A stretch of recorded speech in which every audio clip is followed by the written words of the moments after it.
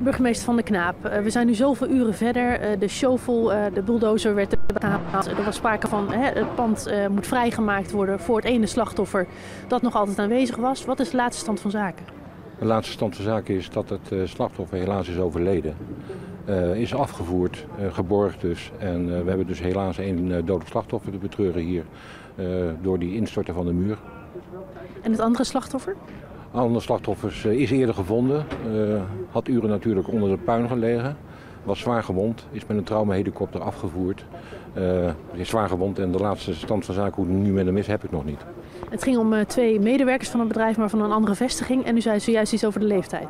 Ja, het, het dodelijk slachtoffer is eh, 45 jaar en de man die zwaar gewond is, is 59 jaar.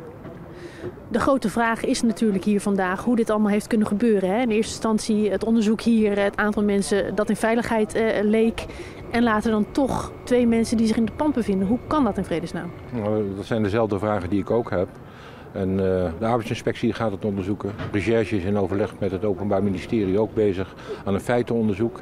En dat zul ik echt ook moeten afwachten om te weten hoe is het nou precies verlopen. Hoe kan het nou dat eerst mensen, eh, dachten wij, eh, allemaal compleet waren en dan later toch een aantal mensen vermist.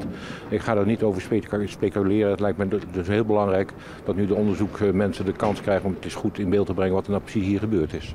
Wat is uw reactie als eh, burgemeester hier vandaag zo de situatie beoordelen? Het is een heel tragisch ongeval. Nou, je kunt wel aan me zien dat ik daar echt door ben geraakt. En eh, mensen gaan eh, doen hun werk en worden dan door deze weersomstandigheden geconfronteerd met, met dit hele tragische ongeval.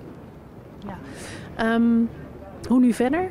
Eh, want er zijn nog altijd speurhonden die eh, rondjes maken om meteen ander uit te sluiten. Ja, die, die zijn al eh, bijna anderhalf uur zijn ze nu al bezig om onder, op en onder het puin te kijken of er mogelijk nog een derde slachtoffer te betreuren zou zijn. Daar zijn geen indicaties voor, maar we willen nu echt voor 200% zeker weten dat er geen andere slachtoffers nog onder het puin liggen.